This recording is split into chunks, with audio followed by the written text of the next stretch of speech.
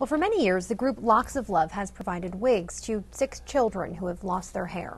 Yeah, but an upstate woman says she was shocked to learn that those wigs aren't always free to the child or their families. News 4's Tim Waller is looking out for you with why she donated her hair to a different charity. So, Tim, Locks of Love's charges for wigs? I didn't think they did that. Well, they do sometimes, and I'm going to talk about how that works in just a minute. But officials there insist the vast majority of their wigs are in fact free to the families.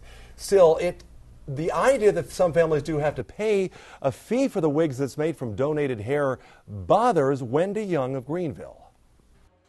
Over the years, we featured countless stories on people who donate their hair for a good cause if it makes one wig or helps make a, a half of a wig and, and some child uh, needs it, I feel like I've, I've done my part.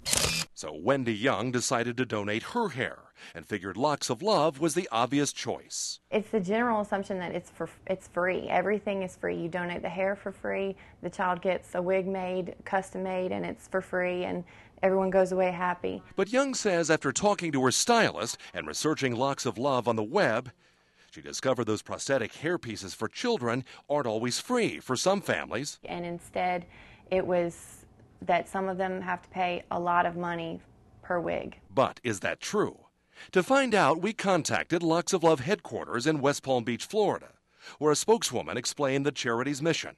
We are a children's charity. We are a 501c3 children's charity and we are here to help children who are financially disadvantaged. She said the hairpieces are free to 98% of the children they help, children whose families are financially disadvantaged.